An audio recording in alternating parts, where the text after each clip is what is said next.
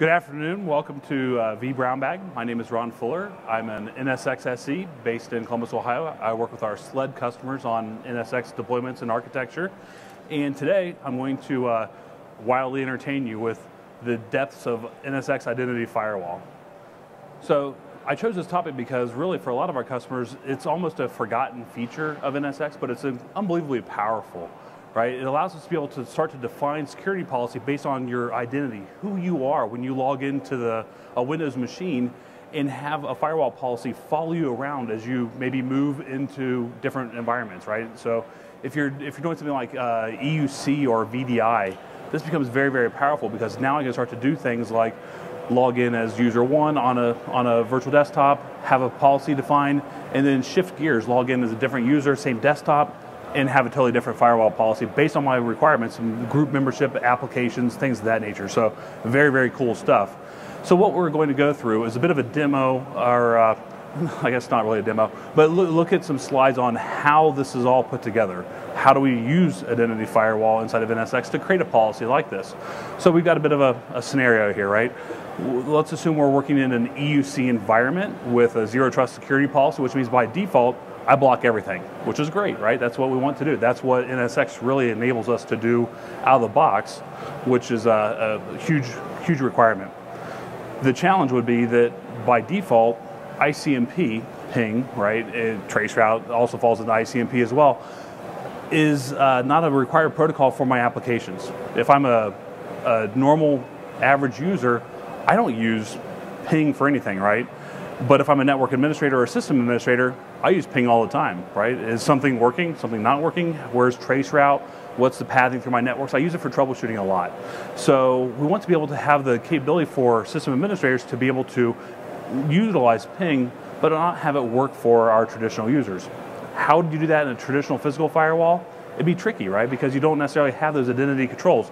Most physical firewalls have zero concept of who you are and when you've logged in and what you might or might not have access to. They're typically based on a traditional five tuple policy.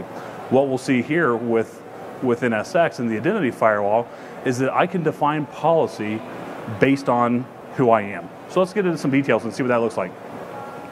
So here's a screenshot of what the actual policy looks like when it's uh, deployed and active as a firewall role.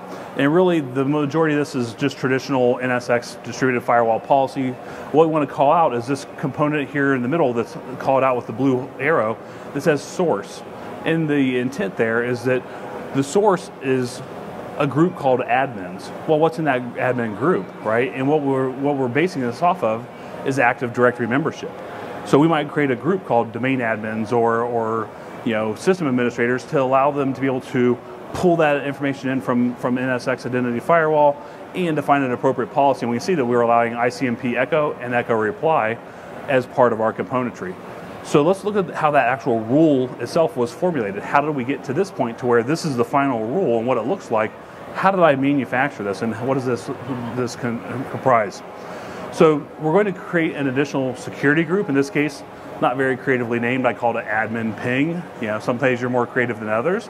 But the idea is that I select dynamic membership. And what I'm doing is here in the center where it says entity belongs to the group domain admins. So anybody who's a member of domain admins that logs in to the Windows environment would be seen by NSX through the identity firewall and have this appropriate security policy applied to them. Now, what we're not going to show just because of interest of time, is how we configure the linkage between NSX and the Active Directory. Um, so that's that's a one-time step that's typically done, and then it's always there in place. But we'll, we'll see a, an enhancement we made to that in some of the upcoming slides. So then, uh, with that um, policy, based on the Active Directory, we're able to determine who was able to log in. So when we shift gears and look at how we, some of the scaling considerations, and when you think about how customers use Active Directory, typically there might be hundreds of thousands of users, hundreds of thousands of groups, or tens of thousands, right? Nevertheless, the identity firewall isn't necessarily a, a, an unlimited scale component. So we've added some optimizations as of NSX uh, 623 that allow us to be able to do things like ignore disabled users. I worked with a large customer uh, who, in their environment, when somebody left the company, their account wasn't ever really deleted, it was just disabled. and that sets a flag on their account inside of Active Directory. What we enabled in 623 was the ability for, active, for NSX to be able to pick that out and see that, hey, this user is disabled. I'm not going to synchronize it because it's a disabled user. They're not going to have a valid login anytime ever until that flag is removed. So by doing this, we're able to start to filter out all those disabled users. And, and, this is especially important maybe for a company who does seasonal work, especially here in the States with uh, you know the end of the year and, and, holiday time coming up.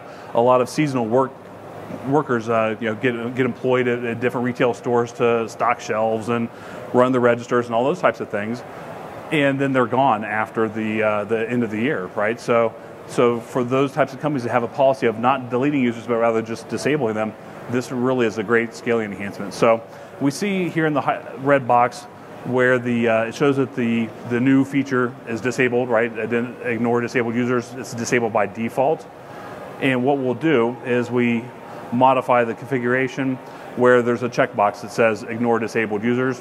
Pretty intuitive, right? It's not too hard to crack the code on what that box might actually entail but it allows us to be able to, to define the Windows AD domain, in this case, fuller.net. What a, what a great name.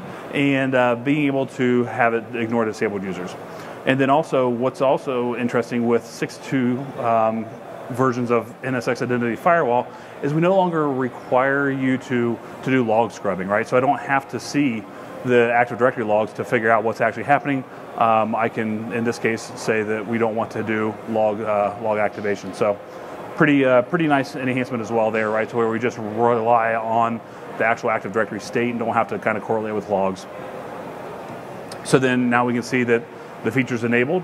Good job, high fives. You're able to click on a box, click on OK, and let that take effect. So you know you are a master system administrator now, and uh, now it shows that it's enabled. So very very cool capability that, as I mentioned, is is really underutilized. But what we see is more customers gravitate towards higher density VDI or EUC environments, that this is exactly something that they're looking to do and a, a, feature that they, they can take a great advantage of and really enhance the security posture of their entire environment.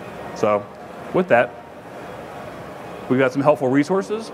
Certainly the NSX EUC design guide is a great resource. This is a living document, relatively new. Um, the NSX design guide, which is really the go-to resource for how to design an NSX deployment. That, again, is a living document. It's out there in the communities. Hands-on labs are always a classic, especially here at VMworld. We're, we're hearing that, uh, again, the NSX hands-on labs are the number one uh, leading lab again, so go team, that's awesome. And then finally, um, sometimes it's a good resource, maybe sometimes it's not. My, my own personal blog at ccie5851.blogspot.com. So thank you very much for the time and the opportunity. It was great, and uh, have a great VMworld.